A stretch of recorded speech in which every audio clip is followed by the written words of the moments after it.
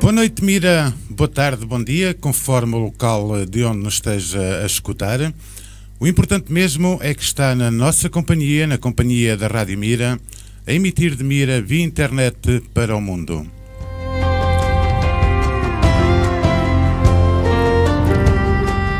Sejam bem-vindos à grande entrevista de hoje. Vítor Madail, presidente cessante da Associação Humanitária dos Bombeiros Voluntários de Mira, é o meu convidado de hoje. Boa noite, Sr. Vítor Madail. Boa noite. Obrigado por ter aceito o meu convite para estar em mais uma emissão da grande entrevista. Vamos conversar um pouco, porque não somos desconhecidos, isto já nem será uma entrevista, tem como título uma grande entrevista, porque é às terças-feiras que se passa. Mas há uma primeira questão que é inevitável uh, que eu lhe coloque. Porquê que não se recandidatou à presidência da associação? Ora bem, a minha não candidatura é, é porque desde apercebi muito rápido, logo na nossa chegada desta direção, que havia, enfim, outros tipos de candidatura, aliás, já começaram a, enfim, a movimentar-se candidaturas ou não candidaturas, a haver um movimento e, portanto, eu só me candidataria e se não houvesse outra lista, portanto, não era o objetivo, não seria uh, permanecer nos bombeiros. Acho que os presidentes das instituições, as direções não devem, enfim, fazer percursos muito grandes nestas instituições e devem trazer algo de novo e nós trouxermos algo de novo aceito ou não aceito, pelo menos criámos aqui algo de diferente, dando continuidade já, já ao que estava. Portanto, e recandidatar-me, se não houvesse ninguém, é claro que recandidatar-me ia, até porque, porque, enfim, tenho pelo histórico todo que conhecem de mim no associativismo. Enfim, eh, tenho 13 anos de associativismo em Mira, portanto, eh, penso que se toda a gente fizesse metade, Mira teria muito bem de, de gente em prol do associativismo. Exatamente, portanto, apenas não se recandidatou porque uh, havia já uma lista, portanto não fazia sentido para si estar a, a, concorrer com outra pessoa para uma causa tão nobre como é ou como são uh, os bombeiros voluntários, se bem entendi. Não, e mesmo a lista, quando apareceu uma lista sendo liderada eh, pelo, pelo, que vai ser indigitado, que foi, que foi a lista candidata ou a lista que, que estava para ser candidata, não fazia sentido eh, enfim, candidatar-me ou arranjar uma, uma direção para me candidatar, porque os objetivos serão os mesmos.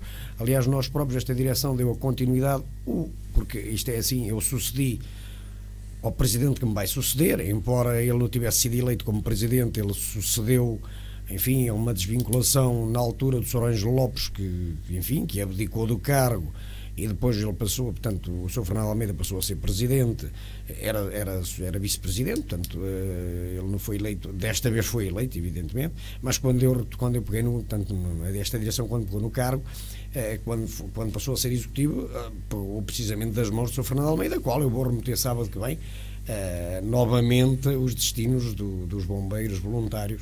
Portanto, uh, e queria aqui referir uma, e, e, devemos sempre corrigir isto. A associação é a Associação Humanitária de Bombeiros Voluntários, não dos bombeiros voluntários. Se ela fosse dos bombeiros, não era preciso direção, seriam eles mesmos que teriam uma associação. E a associação que tem um corpo de bombeiros. Isso às vezes parece que não, mas faz todo, toda a diferença. Com certeza. Antes de continuarmos, deixe-me só aqui cumprimentar os nossos ouvintes, já estão aqui pelo Face. Uh, vou já direitinho, porque é um pulinho daqui até ao Luxemburgo.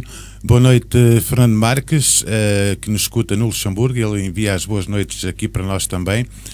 Por lá também David Miranda, a Dina Rei, a Maria Mateus, o Domingos Patarra, Patrícia e Elsa Marisa. Boa noite para aí então. E se só agora se ligaram uh, à Rádio Mira, esta é mais uma grande entrevista, desta vez com o Vítor Madeil. Uh, vamos prosseguir um bocadinho então uh, com apenas com, com o intuito de elucidar todo o nosso auditório, porque no fundo uh, o Vítor passou pela Associação Humanitária de Bombeiros Voluntários de Mira, portanto, três anos, que também não são três dias nem, nem três meses. Quando assumiu as suas funções, encontrou necessidade de melhorar alguma coisa? Não. Sim, desde já eu tenho aqui alguns números que posso indicar, por exemplo, uh, primeiro vou indicar para todos, e acho que toda a gente deve saber isso, vai, vai, vai, vai, vai ser publicado em torno dos órgãos de comunicação social a partir de hoje, portanto nós apuramos as eleições. As eleições revelam, pois cada qual interpreta como quer, uh, enfim, nunca houve eleições nos bombeiros, tem sido sempre pacífico. E é tão pacífico, por exemplo, no universo eleitoral de 2.231 votos, uh, votaram 151, uh, houve 151 votantes. Ora, 151 votantes equivale a 6,76% do, do, dos votantes. Faz uma abstenção de 93,24%, o que é enorme. Portanto, e nesses votos no 151 acabou por haver 14 brancos, portanto, houve 14 pessoas e um nulo. Houve 15 pessoas que se deslocaram, uh, mesmo assim, havendo só uma, uma lista, deslocaram-se para votar em branco. É uma coisa que eu não compreendo, mas enfim, aconteceu.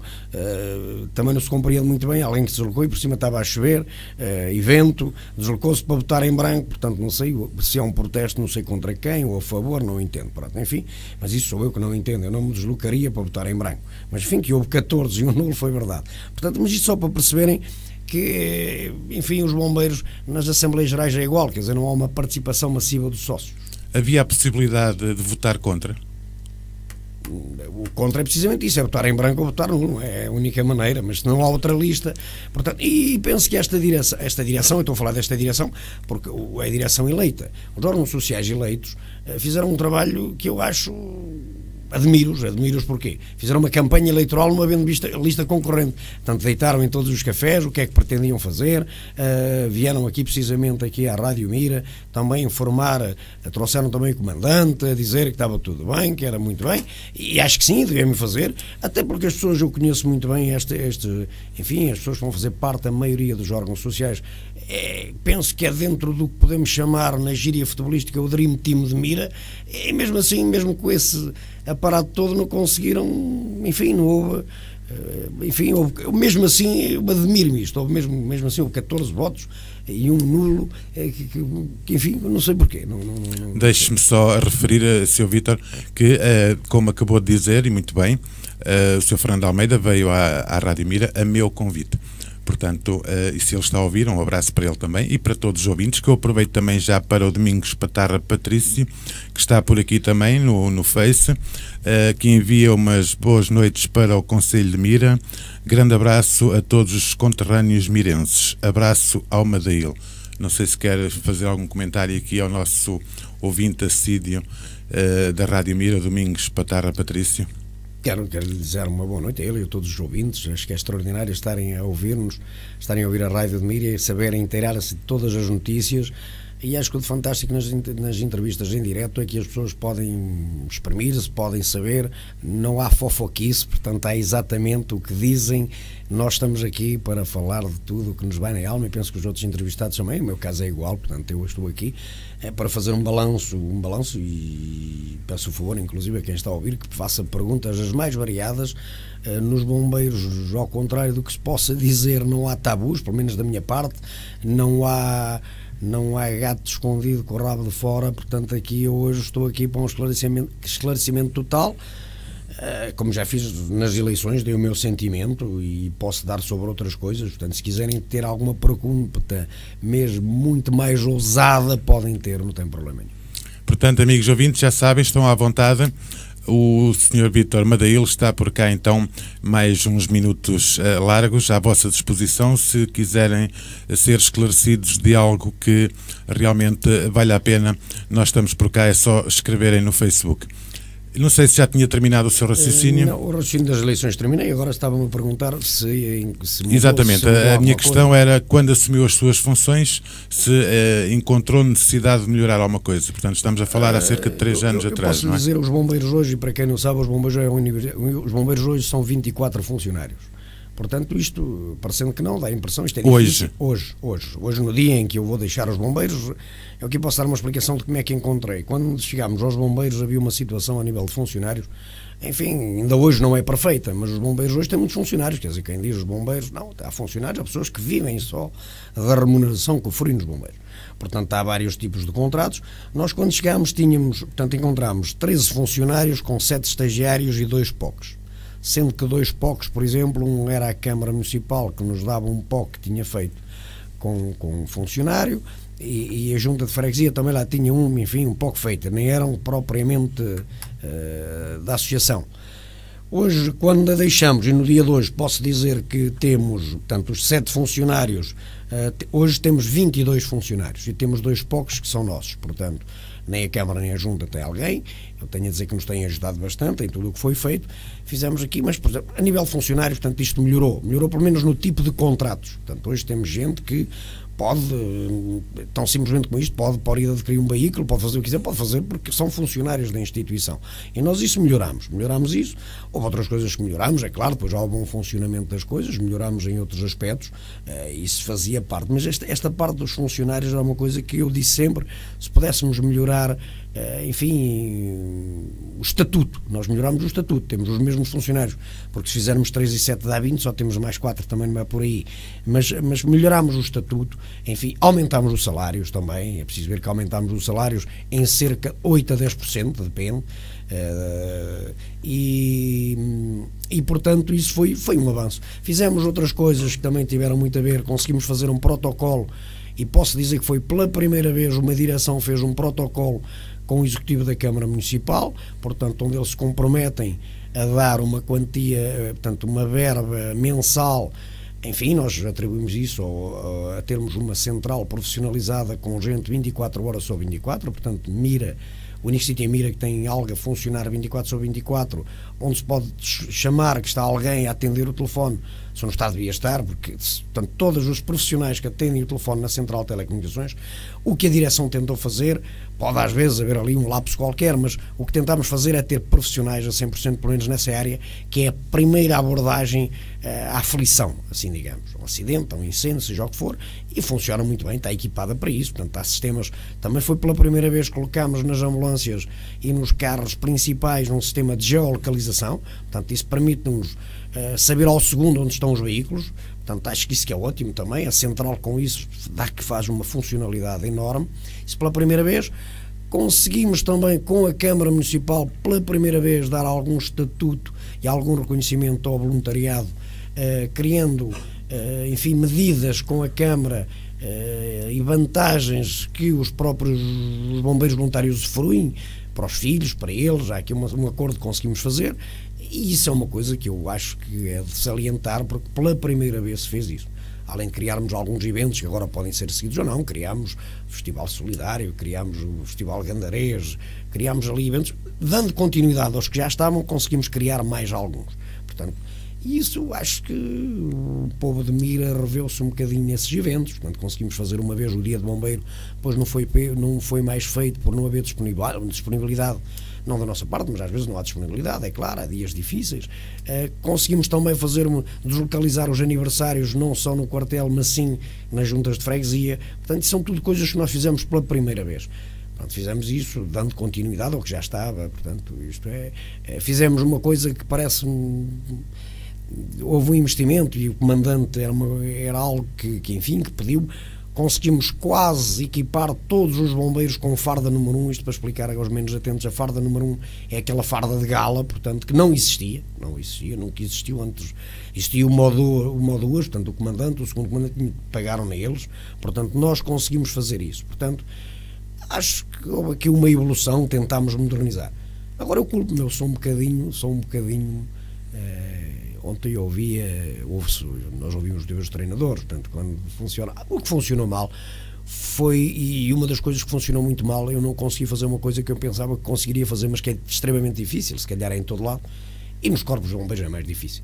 Não consegui mudar as mentalidades, e isso a mim culpo-me a 100% porque não consegui fazer essa tarefa. Conseguiria, pensei que mudar as mentalidades é toda a gente estar a à volta de um projeto, em Mira é muito difícil. E vê-se nos eventos, às vezes solidários, é pena, porque fazemos isso com a melhor das intenções e depois, por isto ou por aquilo, as casas não enchem, vêm sempre os mesmos, são sempre os mesmos a dar. E eu, eu nisso tenho uma pena imensa de não ter conseguido isso, de não ter conseguido fazer passar a mensagem.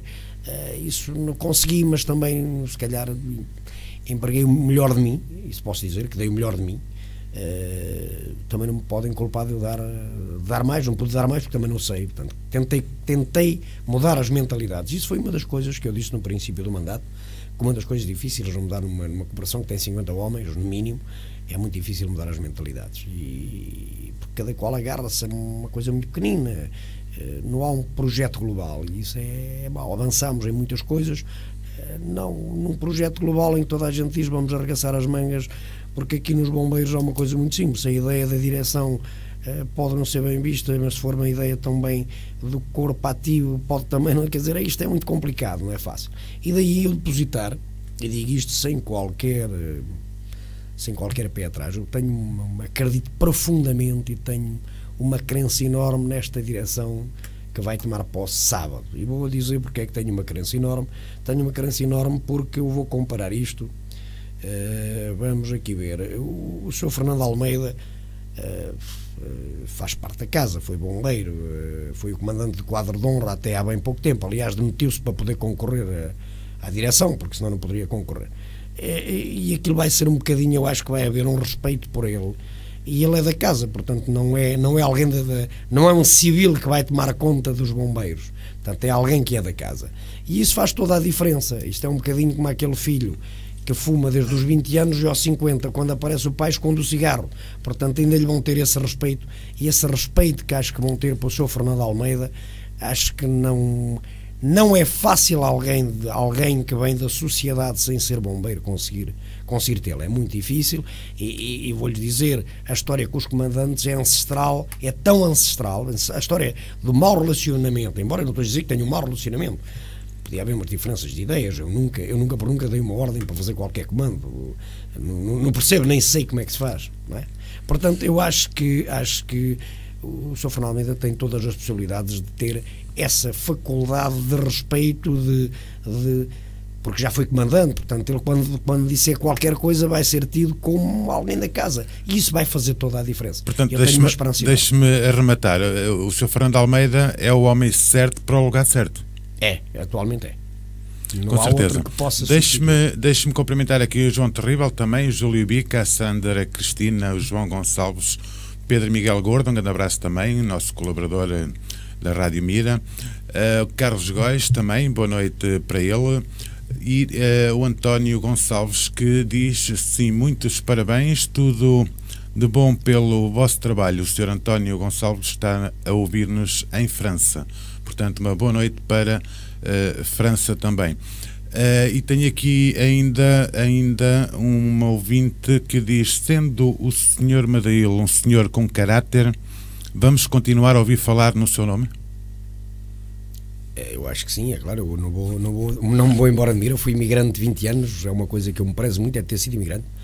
Prezo muito as minhas raízes, prezo muito de ter nascido numa família humilde Uh, continuo por Mira, não conto. Aliás, a pior coisa que me podia acontecer é sair de Mira, porque foi o sítio que eu optei. É, falar de mim, falar de mim, é, vão sempre ouvir falar, porque eu terei sempre aquele meu espírito crítico, tentarei sempre ajudar, mas tentarei sempre ajudar. Eu, eu gostaria que percebessem isso. Eu gostar, gosto de ajudar-me no, no sentido de, de, de, de, empurrar as coisas para a frente e, e não, às vezes, ajudar a estagná-las. E eu fico muito revoltado quando as coisas ficam estagnadas e não andam para a frente por uma questão, eh, como costuma dizer, de lencaprina. E acho que às vezes as coisas não andam para a frente. Há muita gente que gosta de bracejar vento e chega cansado ao fim do dia.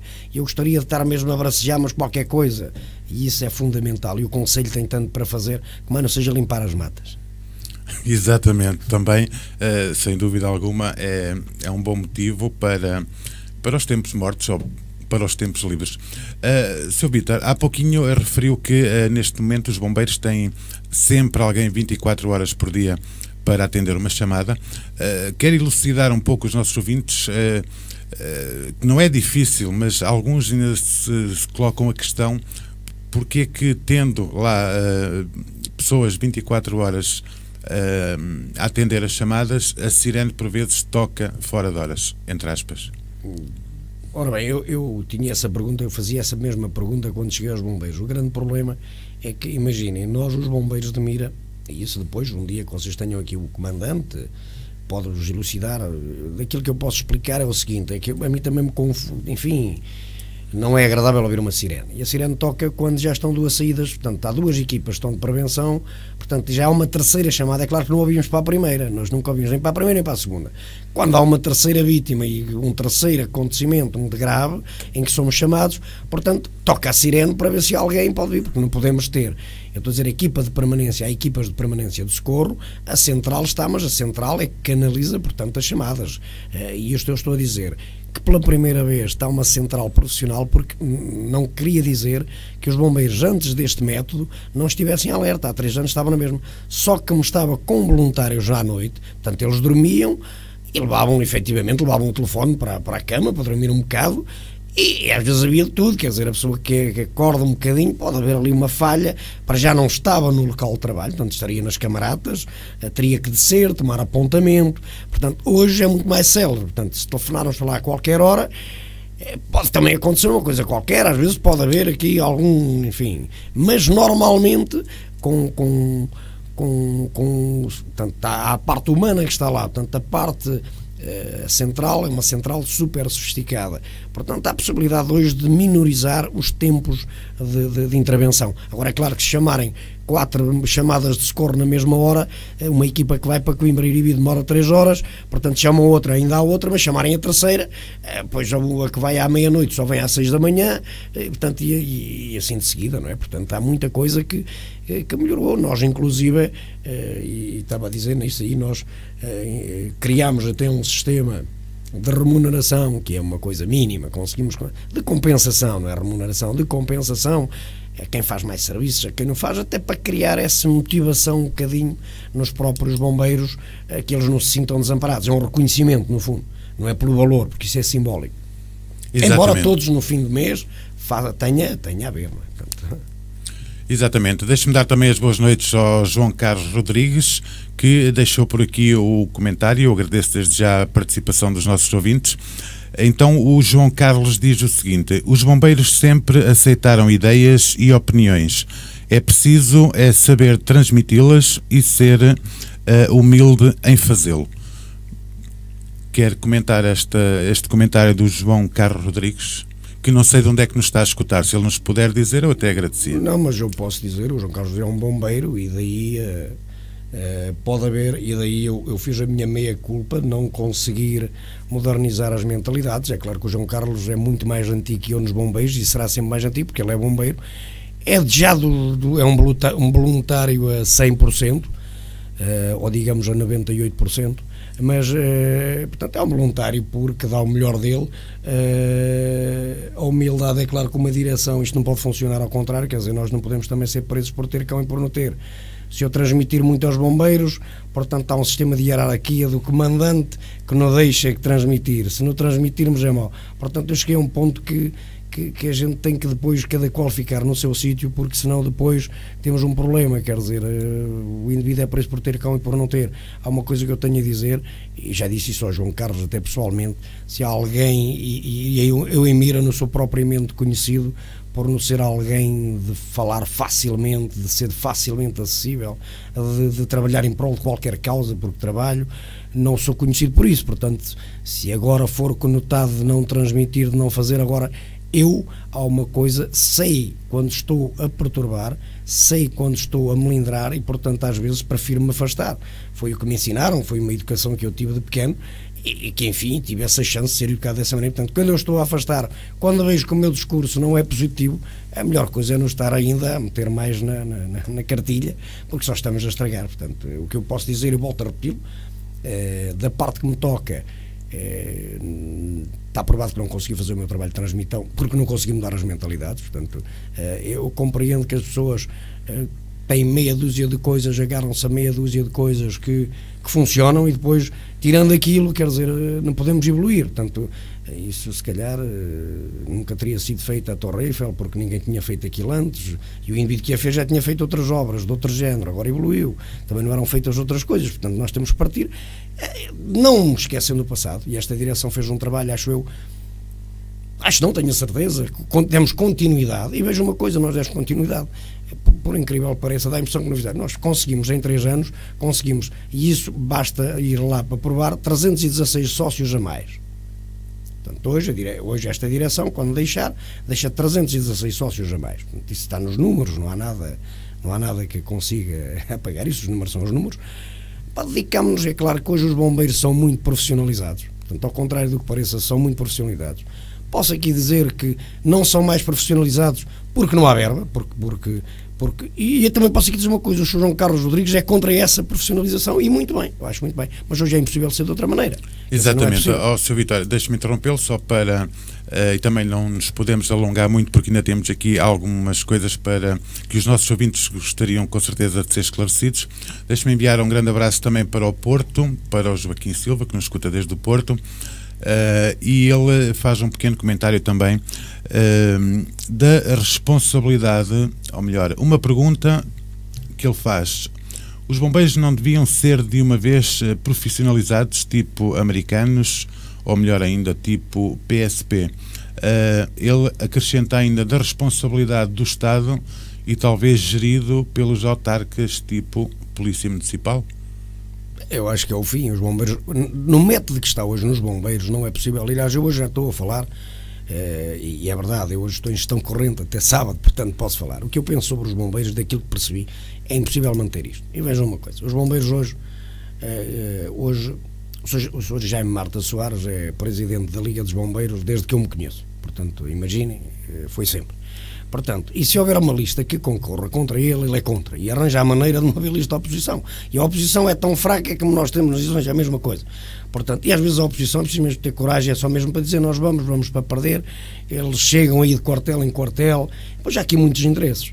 Agora, eu acho que isto tem que ser profissionalizado porquê? Porque hoje isto acaba por ser tudo uma farsa. Quer dizer, a maioria dos bombeiros, ninguém, ninguém, não há nenhuma cooperação dos bombeiros que possa ter só voluntários, é impossível. Não é possível.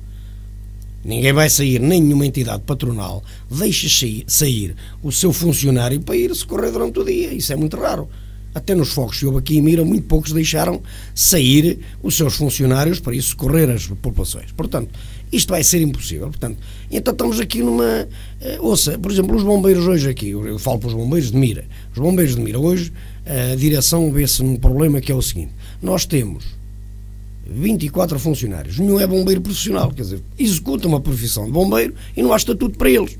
Portanto, uns são condutores, outros são não sei o quê. Isto acaba por haver. E depois há outro problema. Imagina, hoje o comandante castiga um condutor de uma ambulância que é bombeiro. A direção tem que lhe suportar o salário e ele não pode trabalhar, porque o comandante castigou. Portanto, isto é uma coisa. Isto não é possível. Isto não é possível. Portanto, isto ou passa a ter outro tipo de, enfim, de legislação, e não pode ser, ou veja, quer dizer, também não pode ser toda a gente, no fundo, há uma série de verbas, quer dizer, e não foi criado aqui, e os bombeiros têm que ser geridos profissionalmente. Hoje não é possível ter, porque os serviços de transportes é algo que tem que ser controlado, porque não pode haver uh, despesismos, uh, que eu, eu, sou muito contra o despesismo barato, quer dizer, a gente vai ali, vamos, uh, passamos, tem que ser tudo muito controlado. E então, para isso, tem que haver um patrão. E o problema, o problema eu vou dizer, e vou utilizar um termo enorme, os bombeiros, no fundo, não têm patrão. Porque quando o patrão executa ou tenta ser patrão, é o mal da fita e vai-se embora. Tem que se ir embora, senão revoltam-se. E antes de mim, antes de mim houve um caso que agora já ninguém se lembra. Antes de mim eram 20 bombeiros que pediram admissão para o presidente se ir embora. Então a grande solução, mandar um presidente e o comandante embora e depois retomar. Tudo bem, acho que isto fica a, a, a direção é sempre refém dos bombeiros enquanto isto funciona desta maneira. Portanto, eh, explica-me como é que isto é possível. Quer dizer, é uma casa que tem, por exemplo, estou a falar só nos de Mira, tem 800 mil euros de, de orçamento, mas não tem patrão a sério. Quer dizer, o patrão, se às vezes aplicar uma ordem ou uma regra, para já não pode aplicar ordens sem dizer ao comandante. Quer dizer, o comandante é nomeado para a direção. É? O comandante é, portanto, a direção é que nomeia o comandante. mas o comandante não tem que obedecer à direção. Portanto, isto é uma coisa que é, isto vem do bem querer de todos. E depois ia tal conjugação. E nós passamos o nosso tempo, desgastamos-nos a arranjar a tal conjugação sem avançar. Portanto, isto que eu vos a dizer, volto ao que repeti, eu no meu mandato sou culpado de uma coisa enorme não consegui o primeiro objetivo, que era mudar a mentalidade. E mudar a mentalidade é uma coisa muito mais difícil de mudar, que seja o que for. Porque mudar portões eu consegui, comprar duas ambulâncias também consegui, reparar as outras ambulâncias também consegui, algumas reparações no cartel, comprar dois cães, ter uma formação de sinotecnia, conseguimos algumas coisas. Isso é tudo o que é possível. Agora, depois, mudar a mentalidade de alguns indivíduos é difícil, mas eu também não lhes levo a mal e eu também devia ter, se calhar, mudado a minha. Agora, não podemos ir com aquele sistema e uma vez houve alguém numa reunião que me disse isto não pode ser tratado como uma empresa. Pois é, mas é que nós ao dia 27 temos que pagar os salários. E isso é que é muito complicado, porque às vezes temos atrasos enormes. Eu posso dar números. Hoje, por exemplo, só os hospitais e a NPC dos fogos florestais devem-nos 100 mil euros. Imagine qual é a empresa em Mira tem que ter 100 mil euros em caixa, ou seja, ainda não recebemos uma fatura sequer dos hospitais do JUC de transportes de 2017. E ao dia 27 temos que pagar os salários, porque se nos pagarem, pode haver boatos que estamos falidos. Portanto, isto é uma coisa muito delicada e se isto não for profissionalizado, eu não estou a ver como é que isso poderá ser de outra maneira. Com certeza, penso que os nossos ouvintes estão a ficar muito bem elucidados da, da situação. Deixem-me mandar também um abraço para o Irmínio Mendes, que nos escuta em Glan, na Suíça, eh, para o Luís Carlos, eh, o António Veríssimo também está por lá. Eh, Sr. Vitor Madil, como é que encontrou a, a situação financeira na associação há três anos atrás? Se é que pode dizer. Não, a situação dos bombeiros é sempre pacífica. Pode haver às vezes problemas de sorriso, encontrei e isto é uma coisa mesmo muito engraçada. Eu vou, vamos deixar precisamente eh, as coisas quase como nos deixámos. Encontramos uma situação pacífica, vamos deixar para sair com os fornecedores todos pagos, eh, com despesas acrescidas, isto para dar uma ideia, todas as despesas dispararam, tanto na manutenção de quartel, para lhe dizer, este ano as despesas de manutenção de veículos dispararam a mais que no ano passado, 27 mil euros. Portanto, eh, estamos a falar de coisas, enfim, são tudo despesas que vamos, algumas vamos ser ressarcidas da, da, da, Autoridade Nacional de Proteção Civil, mas que demoram muito tempo e nós temos que adiantar o dinheiro, porque a maioria estão pagas, não é? Portanto, nós temos as contas todas pagas e vamos deixar o dinheiro na, na conta para eles fazerem frente, pelo menos, a estas primeiras, uh, as primeiras coisas, mas isso é exatamente como, como, como as encontramos. É claro que houve fases todas, houve fases em que nos deviam muito dinheiro uh, e o dinheiro entrar, portanto, às vezes a liquidez Pode haver meses em que há uma liquidez enorme, pode haver meses e a gente diz assim, vamos fazer aqui um investimento louco. Já houve meses em que tínhamos 60 mil euros de caixa e houve meses em que tivemos que chegar às contas pessoais e meter lá dinheiro para pagar ao dia 30. Portanto, isso já isso, aconteceu. Isso era uma questão que eu lhe tinha já, já, mesmo a seguir. Eh, foi realmente necessário recorrer a algum financiamento para fazer face aos compromissos ou não? Às vezes é necessário. É Mas necessário. foi no seu tempo? Foi, foi é necessário, é necessário. Mas é sempre, nós temos, nós temos isso para algum menos elucidado, algum sócio pode, pode perguntar, nós temos sempre uma conta, uma conta de descoberto, que é muito raro recorrer, mas já fazem, que somos obrigados a recorrer. Como é óbvio. Hoje, felizmente, está, está, está, está sem, não recorremos, temos o saldo positivo, portanto, isso está tudo em pausa. Mas é como digo, a liquidez numa, numa associação como esta é, é efêmera. Portanto, a liquidez hoje há 60 mil euros, ou 50, amanhã não há nada. E depois, se calhar em dias que não entra dinheiro, estamos ali aflitos durante 4, 5. Mas isso é próprio de uma associação deste género. Próprio, mas isso mais uma vez, porque o Estado não toma responsabilidades de pagar a 30 horas, quer dizer, o Estado, uh, todos os protocolos que a gente possa fazer assim com quem for, ninguém respeita as datas, portanto, Veja, o protocolo da equipa EIPES, uh, portanto, a Câmara paga metade e a Autoridade da Proteção Civil, portanto, paga outra metade. Nós adiantamos o dinheiro de sempre cerca de 10 dias, portanto, não tem lógica. Porque é que nós, se, se a equipa não é da nossa responsabilidade, porque é que temos que adiantar o dinheiro? mas no fundo não somos patrões deles. Quer dizer, isto é, é, muito complexo, isto é complexo, muito mesmo. Mas alguma vez tentou uh, dar seguimento à, à, resolução desse, desse problema, não? Mas a resolução, imagino, nós todos, todos os meses ou todas as semanas, inclusive até para resolver certos assuntos, mandamos uma funcionário da, da, da nossa, da nossa secretaria que vai resolver, vai tentar, manda mails todos os dias e sabe que nós fazemos os transportes. Nós não podemos controlar os pagamentos do jugo, que já é uma loucura, quer dizer, é um ano de atraso, já debatemos isso na Federação, já, já portanto, nós, eles deviam defender-nos, toda a gente é, mas depois isto havia uma solução. E eu uma vez propus isso, quer dizer, vamos parar os transportes. Está bem, mas é que nós dependemos também dos transportes, embora eles paguem muito tarde, não é? Porque, no fundo, uh, se não fizermos os transportes, também acaba por não haver uma receita. E isso é importantíssimo, não é? Assim, pelo menos, eles vão pagando, pagam é com um ano de atraso, não é? Nós teremos de ter sempre em caixa uh, dinheiro para pagar um ano dessas despesas, não é? Com certeza. Uh, também quero enviar as boas noites para o Luís Carlos, que nos envia a nós as boas noites também. E uh, o António Veríssimo, que nos escuta, uh, penso que seja quem eu penso, que nos escuta desde a Videira Sul. Boa noite para a Videira Sul também. O António Veríssimo envia os parabéns à Rádio Mira pelo excelente trabalho. Obrigado pela parte que me toca, amigo Veríssimo, e parabéns aos bombeiros voluntários de Mira pela disponibilidade em prol da comunidade mirense. Isto é um comentário, não sei se quer comentar algo. Portanto, obrigado a António Veríssimo e todos os outros que uh, estão uh, a participar nesta emissão de grande entrevista. Sr. Vitor Madela, uh, em todos os projetos que conseguiu concretizar, qual foi o mais difícil? Não sei se mudar as mentalidades era um projeto, mas penso que não. Talvez depois de lá ter eh, estado uh, a trabalhar é que terá dado conta disso, mas uh, com certeza que teve projetos. Dos que foram concretizados, qual foi o mais, o mais durinho? O mais difícil. Aquele que lhe deu noites sem dormir. O, o que me deu noites sem dormir, pela primeira vez na vida, foi os compromissos assumidos pela Associação entre os quais com os funcionários e chegar ao dia 25 e não haver dinheiro e ter que lhe pagar ao dia 27. Eh, e depois também o que mais me decepcionou foi arranjar a solução e pagar ao dia 30 e haver alguns que disseram que a empresa, portanto, que os bombeiros estavam falidos. Também deu alguma pena. Isso, isso magoou bastante. Mas enfim, eh, mas um dos projetos que me deu muito trabalho e que foi fiz questão desde o dia que iniciei, criei um bocadinho, entre aspas, e tenho a dizer, criei entre aspas, e não abri uma guerra, mas há certas coisas que a mim enfim, mas abri uma guerra sozinho. E depois consegui obter um bocadinho parte dessa luta foi no portanto foi no protocolo. O protocolo eh, com uma verba financeira eu era muito ambicioso. Veja nós fizemos as contas e achávamos eh, eu fiz uma proposta ao executivo camarário de 10 mil euros mês e eu vou dizer mas eu não estava muito fora da norma porque eu tenho um amigo que é presidente dos bombeiros, dos bombeiros voluntários da, da, da Ruda dos Vinhos, e recebe 12.700 por mês e tem, tem menos homens que mira. Portanto, é-lhe muito mais fácil gerir, não é?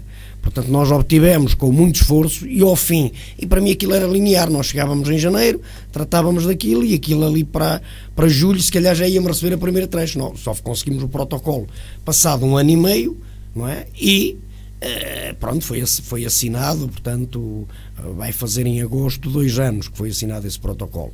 E esse protocolo era uma coisa que eu tinha muito a peito, custou bastante, eh, lutámos bastante, porque nós éramos ambiciosos e pedimos uma verba grande, pois é claro que isso foi decidido por aí, e hoje é uma verba de 3.440 euros, penso eu. Portanto, é, é efetivamente uma coisa muito pequenina, porque nós também criamos compromissos onde gastamos essa verba, gastamos mais que essa verba. Porque, veja, nós temos eh, na Central de Telecomunicações cinco funcionários só na Central de Telecomunicações. Portanto, o que começa a ser já uma verba. Se multiplicarmos isso, não dá para pagar, portanto, a esses funcionários, que era isso que eu pedia. Não? É? Exatamente. Aproveito também para dar as boas noites à Eliana Carvalho, que nos envia as boas noites também, eh, ao João Inocêncio, que também eh, está por lá. Uh, acabámos de falar, portanto, do, do, do, projeto mais difícil daqueles que foram concretizados, mas com certeza que uh, provavelmente ainda ficaram alguns por, uh, por concretizar, não? É claro, os bombeiros mal era se qualquer instituição como os bombeiros tivesse os projetos todos acabados, não pode ser. os projetos, nós demos continuidade, continuidade a alguns que, que, enfim, já vinham de trás, e houve aqui coisas que se fizeram que melhorou-se bastante. Houve, por exemplo, mudámos os estatutos, acho que, acho que foi uma coisa muito boa, mudou-se os estatutos, e aqui quero, quero cumprimentar o, o presidente da, da, da, Assembleia, o meu amigo Dr. Manuel Monteiro, que foi, foi excelente, teve um trabalho árduo nesse, nesse campo aí. Criámos estatutos que hoje que hoje são, são, são, não, não são perfeitos, mas que, enfim, estão mais atualizados. Uh, fizemos, ouça, uma coisa tão simples, uh, e isto, uh, antes das eleições criámos, ouça, por exemplo, as eleições, antes destas que decorreram agora, podia-se pagar as cotas no dia das eleições e ir votar. Ora, isto é uma coisa que só existia numa, Pronto, criámos um caderno eleitoral que fechou o caderno eleitoral com uma data e quem não tivesse devida, que não tivesse as cotas pagas nessa data, e houve, fizemos uma outra coisa, mandámos uma, corta, uma carta a todos os sócios, avisado das cotas em atraso, e ficaria surpreendido se lhe dissesse que há deles, desta, há indivíduos sócios desta praça de muito renome que devem quatro anos de cotas, portanto, e que foram dizer, pronto, e há sempre um motivo para não as pagarem, ou porque a direção não está a desempenhar o papel, ou por... mas indivíduos de renome, que se prezam de estar acima de tudo. Eu não quero aqui estar, mas eu acho isto ridículo e rimo com isso. E depois, eh, é claro que não puderam ir votar, quer dizer, mas tiveram uma coisa, portanto, tiveram essa. Mas criámos pela primeira vez, hoje, os estatutos, se forem aplicados, uh, têm regras. Isso eu tive na pessoa do Dr. Manuel Monteiro alguém, e acho que pela primeira vez nos bombeiros, sem menosprezar os outros todos que passaram por lá, que conseguimos ter uma Assembleia de Geral onde não era uma cacafonia, onde todos se insultavam porque eu assistia isso, toda a gente tinha trunfos na manga para lançar uns aos outros, portanto, e conseguia haver respeito, eh, e ele começava por mim e acabava nos sócios todos, portanto, havia ali havia regras a respeito e isso espero que de futuro continue assim, porque é ótimo para a associação conseguirmos perceber quem é quem, havia um registro de quem, eu digo isto porque fui a outras Assembleias Gerais, havia um registro de todos os sócios, havia um livro de presenças, hoje conseguimos relatar exatamente quem esteve em todas,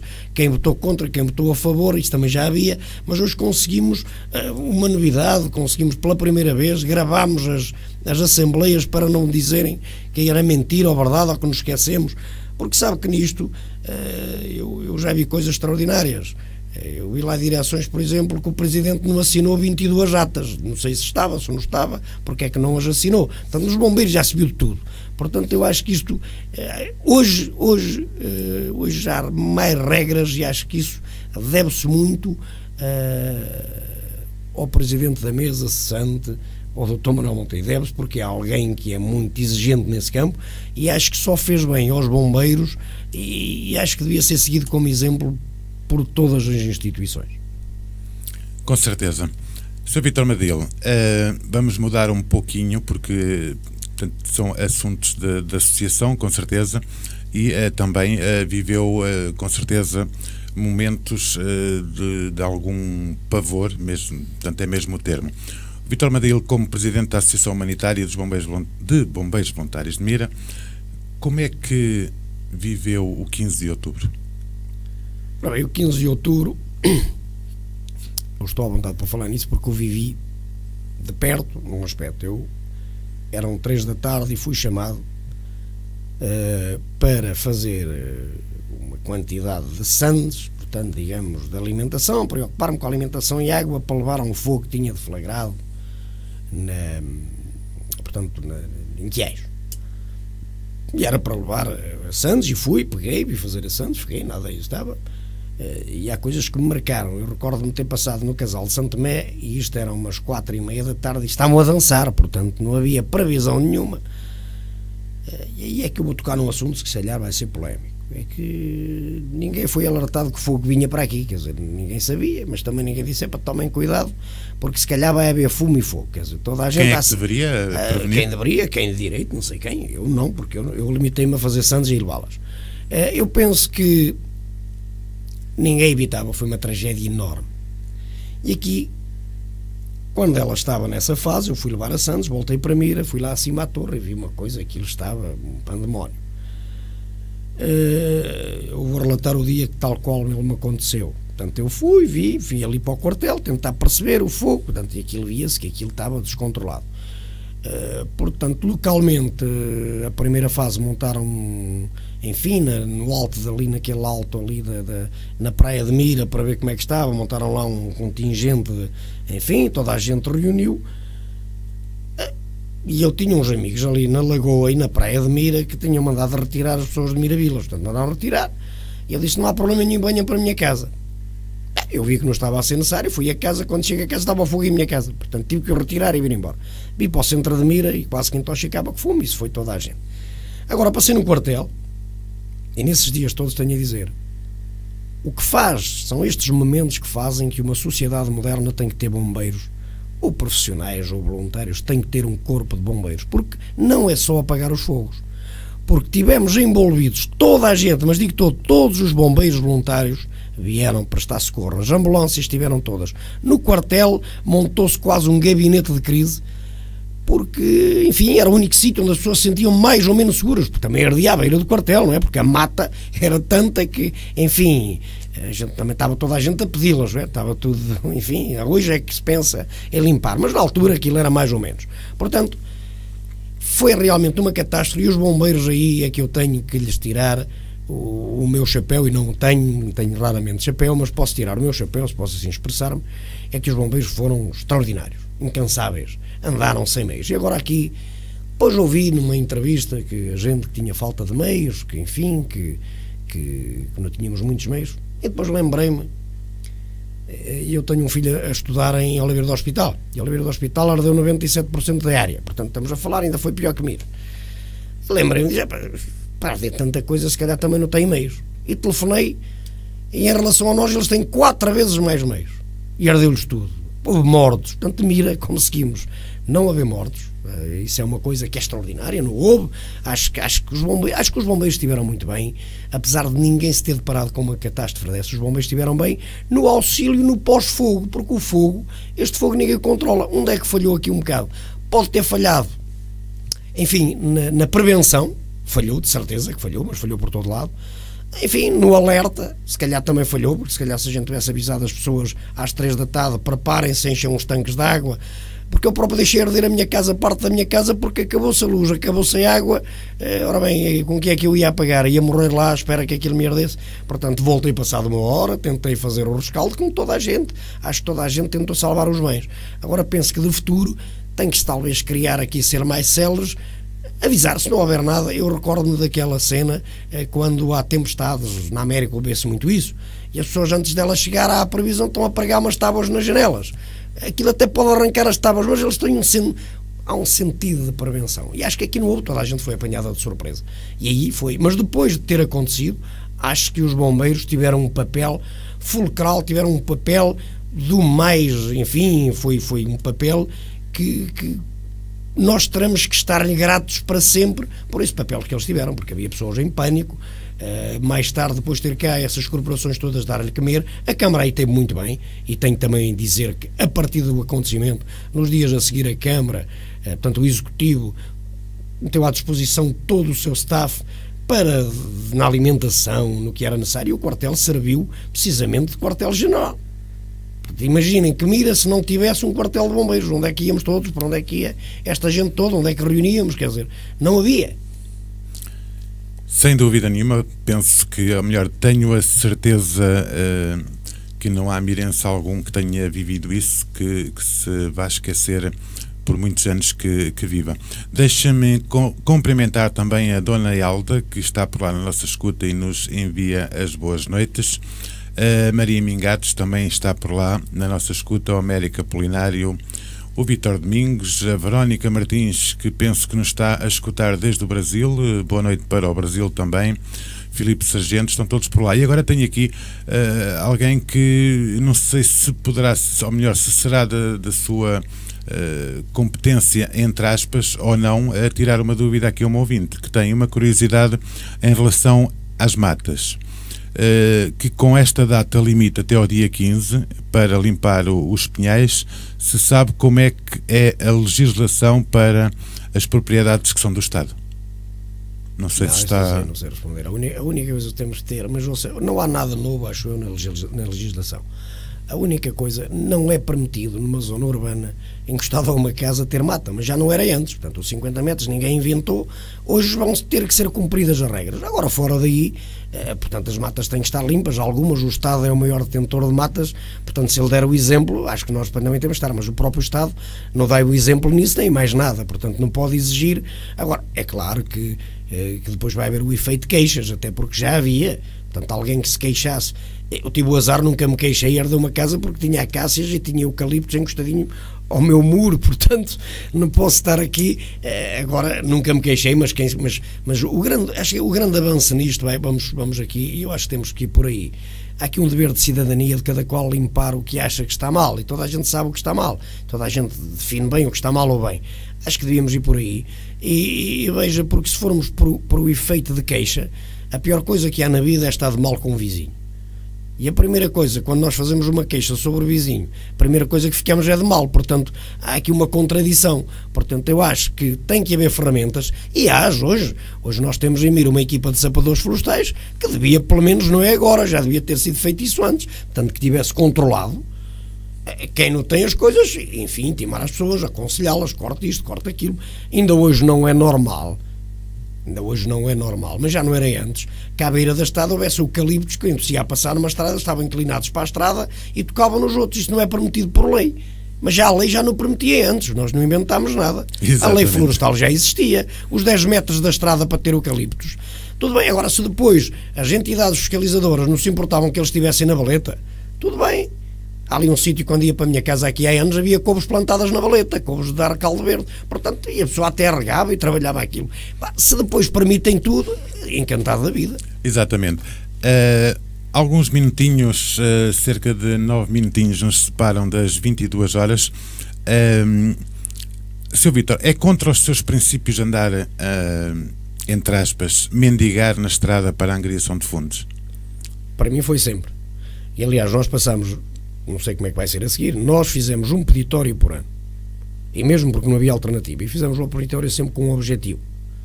Um deles foi a compra até das fardas, que não chegava, mas depois fizemos dois peditórios, das fardas número um. Mas os peditórios é o que há de mais baixo, é nós andarmos de chapéu na mão. Mas isso desde o primeiro dia eu disse, e daí fazermos só um peditório por ano. Portanto, nós passamos, os bombeiros de Mira deixaram de ter pedi três peditórios anuais, Portanto, eu sou mais a favor de haver eventos a reverter, a favor de ou criar eventos que, que, que, portanto, enfim, nós tivemos, por exemplo, para dar uma ideia, eh, o, quando fizemos a gala solidária, é, é para mim, eh, pronto, conseguimos arranjar 4.500 euros, onde toda a gente se divertiu, toda a gente foi a um espetáculo, um espetáculo que para mim acho que esteve muito bom, portanto, conseguimos ter artistas, e acho que é preferível fazer 3, 4 eventos desses por ano, onde as pessoas vão, onde as pessoas não se importem, e nem que as pessoas, em vez de pagar 5, paguem 10, que aí é o problema, quer dizer, devem, e, é, e deve, devemos ir por aí, porque senão andar de chapéu na mão, porque é difícil, eu, eu andei nos peditórios, é difícil, trazer os bombeiros, às vezes há deles que vêm de fogos, porque é sempre em agosto que é quando a gente está com aquele calor tórrido, estar e depois, porque é que não fizeram um peditório de tarde, é que de manhã já é muito difícil, até à uma, sabe Deus o que custa, eu acho que é das coisas difíceis. Aí eu gostaria, inclusive, de ter acabado com os peditórios. Não foi possível, nem é possível. Se calhar não vai ser possível tão depressa. E os bombeiros a mendigar deveriam acabar, porque depois ao abrigo disso nós vemos coisas. E aí eu acho que a população devia se aperceber disso. É quando há outras instituições com fardas idênticas às dos bombeiros a pedir. Aí é que está mal, porque essas pessoas são remuneradas já no fim do dia eh, ou seja, há uma série de instituições que vêm mendigar nos semáforos e depois no fim são remunerados, têm um salário. Eh, os bombeiros não, os bombeiros trabalham em prol de uma causa, quer dizer, trabalham em prol de uma causa no seu dia a dia e depois, ainda por cima, têm que ir pedir uh, porque querem botas novas, porque querem isto novo, porque querem outro. Eu acho que está mal, acho que isso está muito mal. É uma das coisas que eu, se pudesse erradicar, teria erradicado. Com certeza. Sr. Vitor Madila, em jeito de despedida, quer deixar algum apelo àqueles que sempre o apoiaram e também para a população mirense? Não, acho que eu quero deixar um apelo, quero deixar um apelo à, à população mirense e quero deixar um apelo que é, que é o seguinte: acho que em todos os eventos que os bombeiros fazem deveriam vir em massa, porque efetivamente tudo o que nós damos para, enfim, que vão para os cofres dos bombeiros são mesmo, tudo é utilizado em prol dos bombeiros e a despesa é muito grande e, e então também não sou apelo à população para saber o que é, tentem que alguém da vossa família seja pelo menos uma vez membro da direção, da direção, porque os outros órgãos, portanto, eh, também têm muitos, portanto, os outros órgãos sociais têm algum trabalho, mas é diferente. Mas as direções que sejam poder executivo de uma associação como a dos bombeiros, acho que devia um membro das vossas famílias, de vez a quando, dar três anos da vossa, não é três anos, é estar lá três anos, depois dão alguns dias. Acho que isso que faz engrandece-nos Uh, eu, se virem para o meu tamanho, cresci pouco, porque fiquei com a mesma medida, mas de qualquer maneira engrandece o cabelo também não perdeu o nenhum. espírito, não, não. Uh, mas eu sou careca, mas também faço muito por isso. mas o que queria dizer é que isso engrandece-nos engrandece a mente e depois temos uma coisa extraordinária, é que percebemos como é que funciona. A maioria das pessoas não imagina como funciona. Eu próprio não imaginava como funciona, portanto, e acho que se puderem dar, agora se não puderem dar um pouco de voz, contribuam ajudem e não tenham só o poder crítico negativo. A crítica é necessária, nós avançamos com a crítica.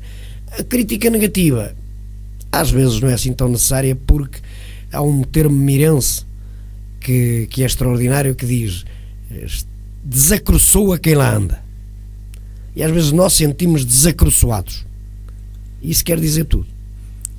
Sr. Vitor Madilo, obrigado por ter estado em estúdio nesta emissão de grande entrevista.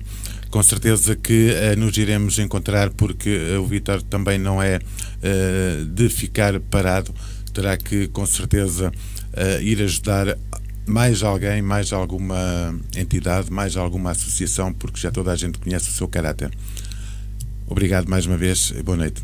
Amigos ouvintes, obrigado por terem estado uh, desse lado com a Rádio Mira, a transmitir desde Mira via internet uh, para o mundo. Continuem a ouvir-nos em www.radiomira.pt